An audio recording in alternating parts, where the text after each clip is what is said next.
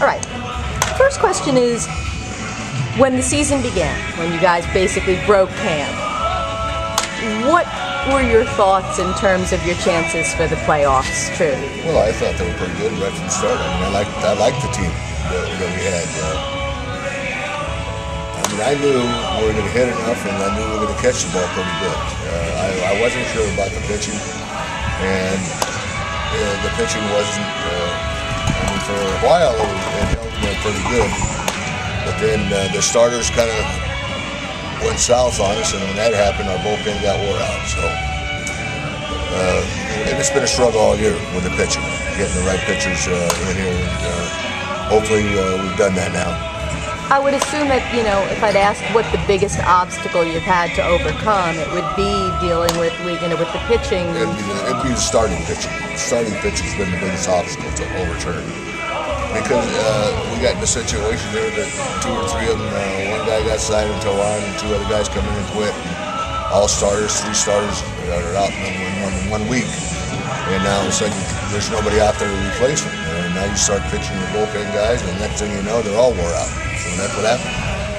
Could you single out a highlight, like a single highlight or a couple of highlights for you for the season? You know, I really can't because I mean, uh, we've had some big games, there's no doubt. That we came back and won some big games, but it's been a real struggle here in the second half, you know, and uh, I didn't think we'd get into a situation like this. In the second half where we struggled where we were struggling, but, uh, you know, it's like I said, the big games are coming up, so we'll go from there. Knowing that even with the struggles, having those couple of games there where you scored 40 runs in, in a span of 16 innings, much did that kind of boost team morale this close to the playoffs, knowing that you could just, you know, you have that kind of lineup that can well, do know, that? You know, uh, we know we got a good lineup. I mean, we're hitting 300 as a team. That's pretty hard to do. Uh, we've scored more runs, way more runs than anybody else in the league. So, you know, I thought it was going to be a little takeoff point, but then go to Camden and lose three in a row to Camden. So it, it must not have been too good a starting point because it didn't work.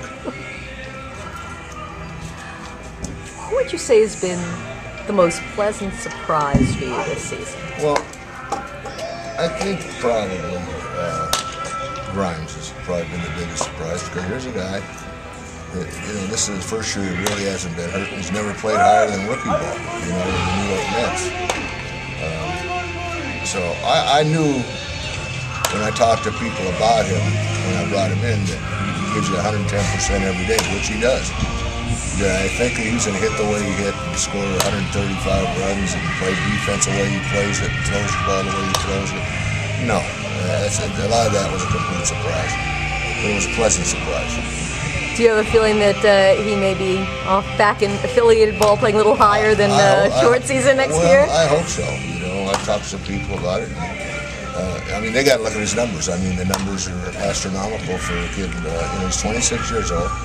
Uh, his on base percentage is 430. I mean, you go over all of his uh, his extra base hits are in the top five in the league. He's, he's leading the league in base on balls. He's leading the league on getting hit by pitches. Uh, I mean, there's so many places that he's leading the league, and, and, he, and he's you know he's hit 17 home runs in the leadoff spot. So. Uh, and he just had a, a. For me, for me, he's the most valuable player in the league. I mean, he really is. I agree. Um, probably going into the playoffs, you guys are facing Somerset. Obviously, you know, not much, not much you can you can say about that. What do you think is going to be is the key for you guys for this first round of the playoffs? We have to outplay them. You know, I think we can hit their pitchers. Uh, the key is, uh, I think we've got a better defensive club. I think we've got a better hitting club. The key is, uh, are we going to be, are we going to be able to stop them from scoring? Stop them from scoring, we have a good chance to win. And I don't mean stop them completely. I mean, if we could hold them three or four runs a game, I think we'll have a good chance to win. Have any secrets or surprises up your sleeve, no, sir? No, the only thing is uh, they haven't seen DeSalvo. We made sure that they didn't get to see DeSalvo when they were in Somerset last time.